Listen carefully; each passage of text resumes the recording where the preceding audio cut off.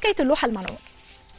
اللوحة الملعونة دي آه، اسمها أو ما يسمى هتكون مع حضراتكم حالا اللوحة عشان تعرفوا شكلها ويعني الصيغة بتاعت اللوحة هي دي اللوحة. شايفين حضراتكم بصوا في اللوحة طفل واقف وجنبه دمية أو عروسة وفي وراه زي أيادي كده عايزة تدخل من ال- الشباك تسحب الطفل ده أو تسحب الدمية دي أو إن الطفل الطفل كمان عابس ومتجهم الوجه وفي حالة ما يشبه ال- يعني ال- الحزن أو ال- الزعل على وجه هذا الطفل. طيب اللوحة دي كانت ما تسمى بالأيدي تقاومه، كان دي الترجمة بتاعة اللوحة أو اسم اللوحة.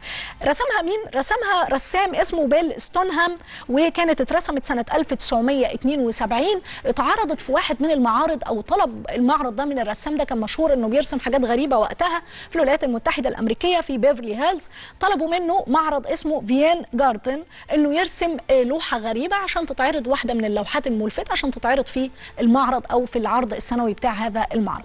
رسم اللوحة دي شارك بيها في المعرض. الناس بدأت تشوف ده الرسام بتاعها اللي هو السيد بيل بيل ستونهام.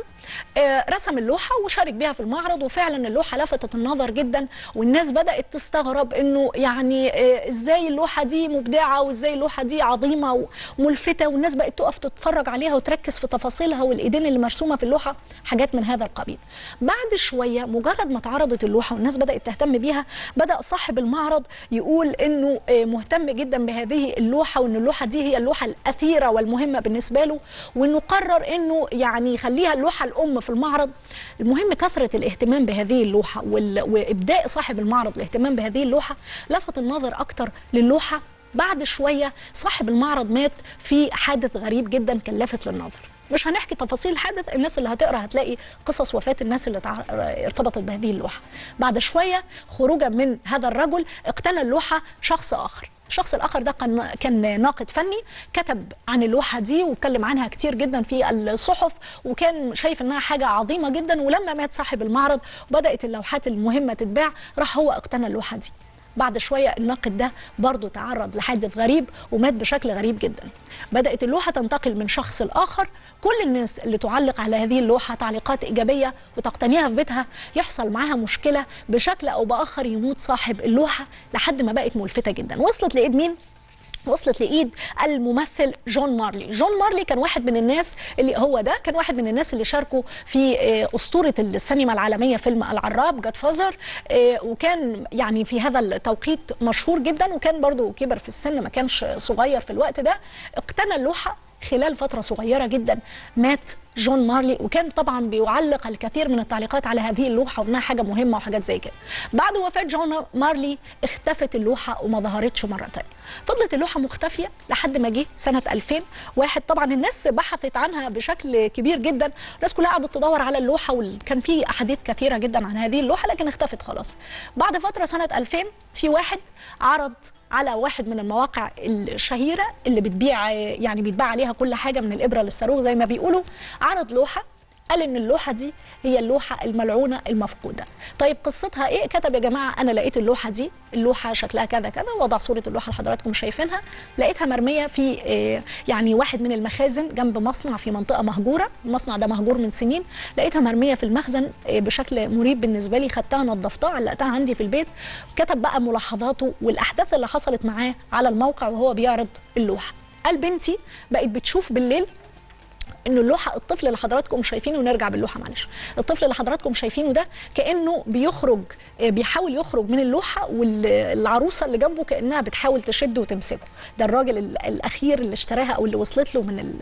إنه لقاها في القمامة أو في المخزن قال إنها حصل فيها كده. بنتي بقت بتقول لي تعالى يا بابا شوف اللوحة دي بيحصل فيها إيه. أنا بالليل لما بقوم أشرب أو أعمل أي حاجة بلاقي الطفل ده كأنه بيصرخ وبلاقي كأن العروسة دي بتمسك الطفل ده وكأن الأيادي اللي بره دي بتحاول تشد الطفل.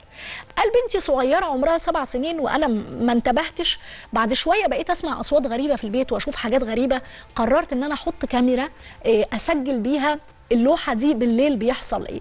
قال الكاميرا حطيتها بدأت فعلا أشوف مشاهد إن اللوحة بتتهز قدام في الفيديوهات الصبح اللوحة بتتحرك من مكانها بدأت أشوف وكأنه في الكاميرا ظلال بتطلع من اللوحة وترجع تاني كضباب أو حاجة غريبة لدرجة ما في يوم سجلنا إنه كأن الطفل بيتحرك داخل اللوحة. قال أنا عايز أتخلص من هذه اللوحة وعرض اللوحة بمبلغ بسيط جدا 199 دولار. لكن أنا بفتح عليها مزاد. ده اللي كان كاتبه والفيديوهات المتعلقة باللوحة موجودة عندي في البيت. عمل العرض ده خلال ساعات سعر اللوحة وصل لرقم كبير جدا إنها اللوحة الملعونة اللي كانت عن جون مارلي المفقودة. كل الكلام ده بدأ يتردد تاني لحد طبعا ما الصحف العالمية والتليجراف وكله كله بدأ يكتب عن إن اللوحة دي ظهرت مرة تانية زي ما حضراتكم شايفين وأشياء من هذا القبيل وإنه طبعا التاريخ زي ما حضراتكم شايفين من سنة 2000 جبنا لحضراتكم المصادر. فبدأت اللوحة تتباع وصلت لرقم كبير جدا اقتناها واحد من المعارض في ولاية ميتشيغان وبعدين قالوا إنه آه، بعد شوية بعد اقتناء اللوحة كمان صاحب المعرض ده مات لكن اللوحة لسه موجودة لحد النهارده في هذا المعرض. ده واحد ده من آه، أصحاب ال- من صاحب المعرض وشخص آخر. واحد منهم مات اللي هو صاحب المعرض وبعد اقتنائه بفترة بسيطة مات هو كمان في حادث غريب. اللوحة دي موجودة لحد النهارده في هذا المعرض لكن كانت ملهمة للناس إنها تتواصل مع آه، راسم اللوحة رسام اللوحة أو الشخص اللي رسمها من الأول. تواصلوا مع السيد بيل قالوا له يا سيد بيل قصة اللوحة دي إيه؟ لأن الراجل لسه عايش. قال لهم مفيش حاجة اللوحه دي ولا فيها عفاريت ولا فيها أي حاجة. كل دي خرافات بتتقال مفيش أي شيء غريب. أنا مش شايف حاجة غريبة. ولكن خليني أقول لكم إن وأنا برسمها كان في بعض الحوادث الغريبة اللي حصلت في البيت اللي أنا كنت ساكن فيه. وأنا اللوحة نفسها لما رسمتها كنت حاسس بحالة من ناحيتها سيئة. وفعلا اللي اقتناها صاحب المعرض مات وفلان مات وفلان مات وكل الناس اللي مرت عليها ماتوا بشكل مريب جدا. وأنا ما صدقت تخلصت من اللوحة دي ومش عايزه أسمع عنها حاجة تاني. ده الرسام اللي رسم اللوحة.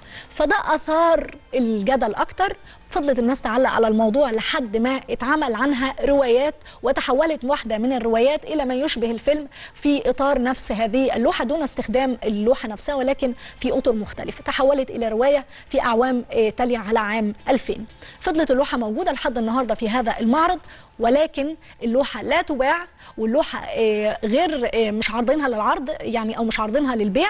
والناس اللي بتروح القسم الخاص باللوحة دي له تذكرة خاصة بيه لوحدها وبيقال بقى إنه الناس اللي بتدخل بيتعرضوا لإغماءات والأطفال بيشوفوا كوابيس بالليل وأشياء من هذا القبيل. تفسير الموضوع إيه؟ التفسير الأخير اللي في الموضوع إنه الناس قالت دي آه، الراجل اللي باع اللوحة أخيرا كان تاجر شاطر وكان بياع شاطر. فعشان يعرض اللوحة وتجيب له سعر كبير حاجة لقاها فكتب القصص دي كلها ويعني عمل بحث وعرف إن كان في لوحة حصل معاها كذا فكبر الموضوع.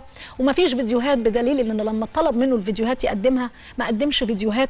واتحطت كاميرات ترصد اللوحة دي حصل فيها إيه؟ ما كانش فيه حاجة. فالموضوع كان غريب جدا إنه الشخص ده مجرد إنه تاجر شاطر عمل تسويق جيد للوحة فاللوحة انتشر داع صيتها بانها حاجة مريبة ومسكونة وكسب من وراها فلوس كتير جدا والمعرض عرف يسوق الفكرة أكتر فكسب فلوس أكتر ولذلك المعرض بيقتنيها لحد النهارده هذه اللوحة. لكن في الاختصار وفي الآخر أنها سميت اللوحة المسكونة اتكتب عنها في عام آه، 2012 هذا الكتاب. كتاب هتلاقوه حضراتكم على الإنترنت.